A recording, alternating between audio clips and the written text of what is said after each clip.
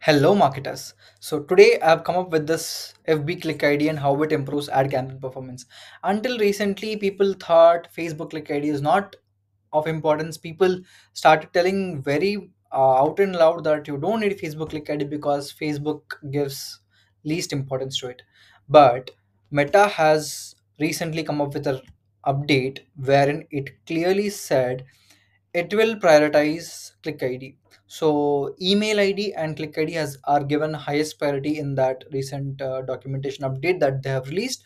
And fbc or the facebook click id uh, is one of that thing that will help you improve your event match quality. So let's get started. First of all what is this fbc or fb click id facebook click id is an identifier that is assigned automatically by meta for users who click the ad. So it is appended at the end of the URL as a query pa- parameter, FBCLID query uh, parameter. Now, if you're implemented using, uh, I mean, if you implemented Meta Pixel that uses first party cookies on your website, this FB click ID is saved in the FBC cookie. As a marketer, you must know why it is important to collect this Facebook click ID and send it to Facebook. Facebook will be able to identify a user based on this Facebook click ID. So, for all the anonymous website visitors who have landed on your website through Facebook ads, to track them, identify them, and uh, have a complete journey of their track, you need this Facebook click ID. This Facebook click ID will improve your conversion attribution and it will also improve your EMQ because Meta has recently, as I mentioned, gave high priority to this click ID along with email ID. Now, this click ID can also be used to track offline conversions and improve your offline conversion tracking as well. So, all of this will lead to better ad campaign performance. Let's see how this Facebook click ID works and how it will improve your ad campaign performance. Here you can see how this Facebook click ID works. So first a user click on your Facebook ad, then lands on your website. As soon as the user is landed on your website, the click ID is generated. It is appended to the URL as a query parameter. Then uh, like you know FBCLID question mark is equals to in that format, and then it is also saved in the FBC cookie if you're using uh, first party cookies with Meta Pixel.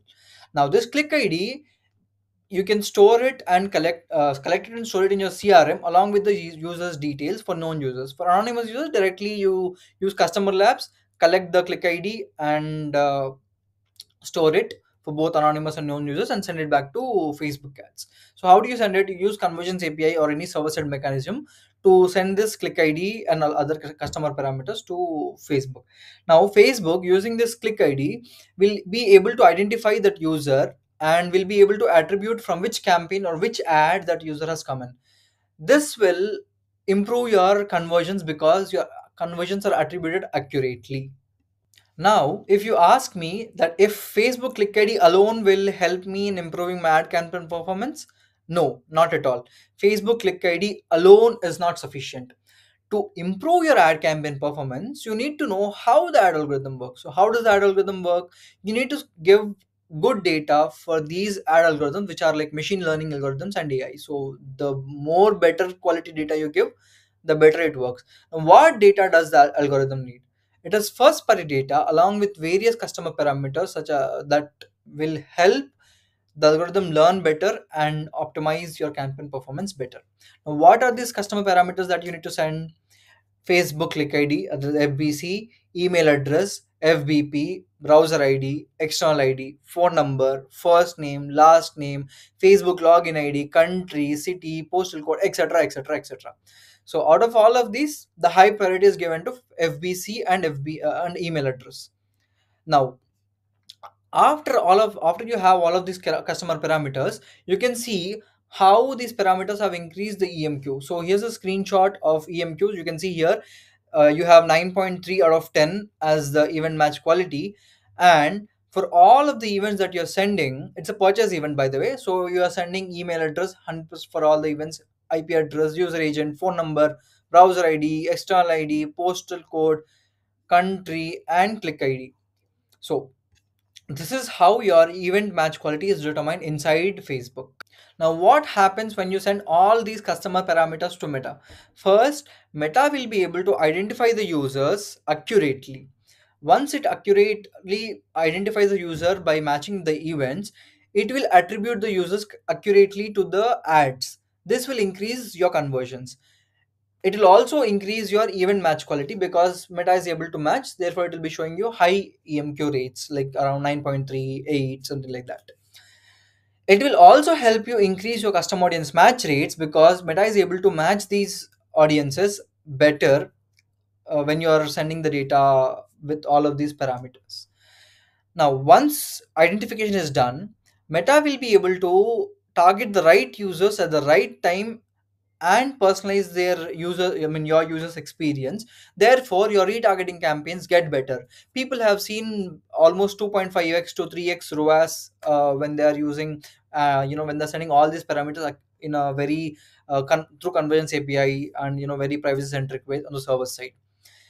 Now, uh, it's not just about retargeting, it is also about uh, training the ad algorithm with right data. When you do that, it will improve the prospecting also by expanding the audience net in the right direction because these algorithms are uh, driven based on the data that you send to them. All of this will help you with increased ad campaign performance.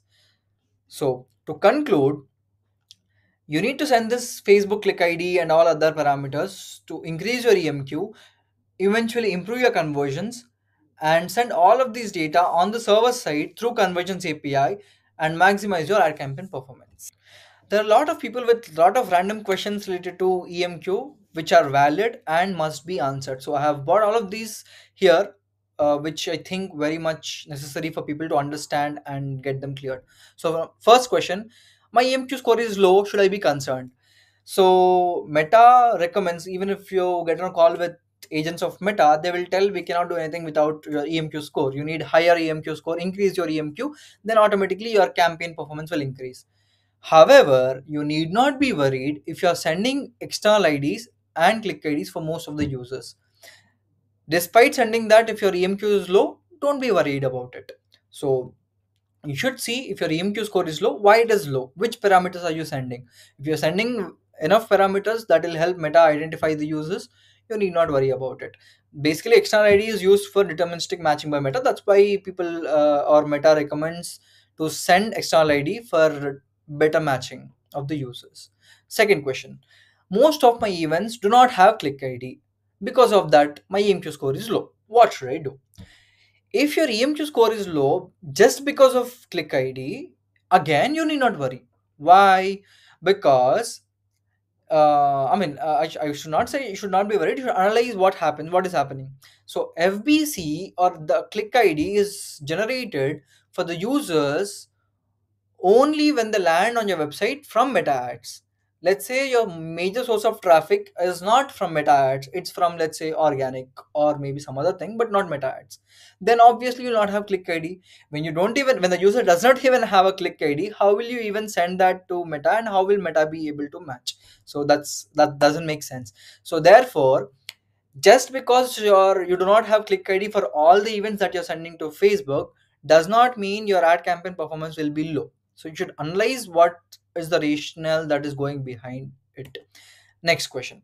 So which parameters matter the most in determining my emq so facebook in their documentation clearly mentioned email id is given the high priority. Facebook click id or the fbc or fb click id is given the high priority. And all the other uh, parameters are given medium and low priority. Like you know uh, facebook login id or lead id browser id country region postal code all of these are having medium and low priority. So focus on sending the parameters which have high priority and medium priority. If you're not sending parameters which have low priority it's fine.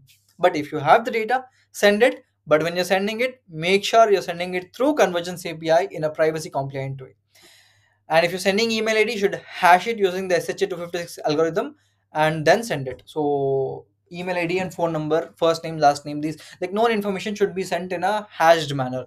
Facebook has given uh, clearly in its documentation wh- what should be hashed and what should not be hashed. Go through the requirements and send the data accordingly. Now next question. The you know the most most most most important question that uh, every marketer wants an answer for how do I improve my EMQ score? The best way to improve your EMQ score is to sync first party customer data with all of these parameters uh, through Conversions API and Meta Pixel. That is the server side and browser side. When you send events both ways and turn on your enhanced advanced matching, uh, then you will be able to send the data accurately to Meta without any loss. And when you send the data accurately, Meta will match the users with its database accurately and it will increase your EMQ score. Now, next, my EMQ score is shown as poor or sometimes okay. What is the reason? So you should understand this thing that this grading of poor, okay, good, grade is done based on comparing your EMQ with similar advertisers in your region. Uh, so basically, it's like let's say you have an EMQ score of 5.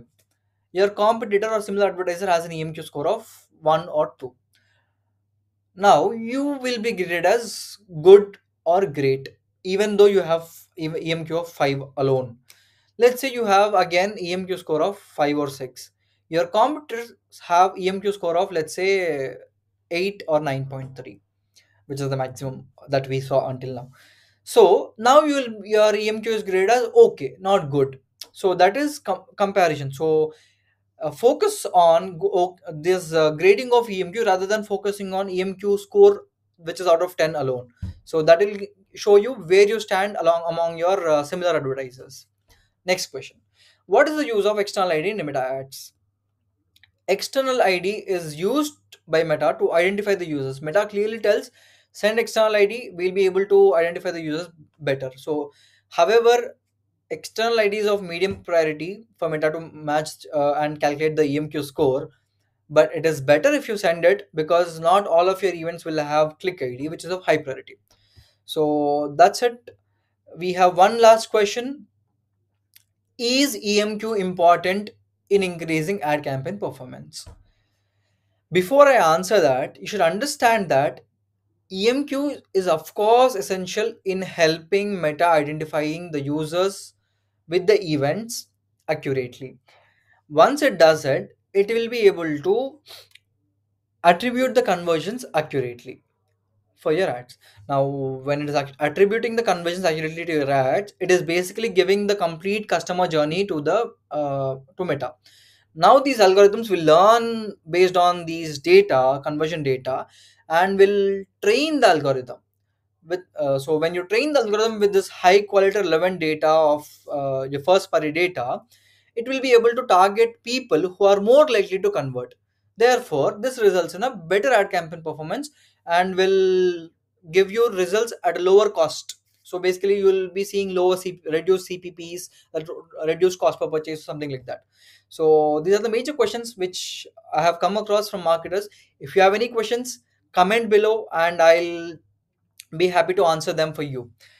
Or if you have any insights regarding event match quality, get back to us through comments or reach out to us through the link uh, in the description and we'll be happy to help. I'll also be sharing some resources that is helpful for you in the description below. Uh, share this video with other marketers who really want to understand this EMQ, this importance of parameters, etc., etc. And trust me, they'll be Uh, very much happy that you shared it with them. Thank you.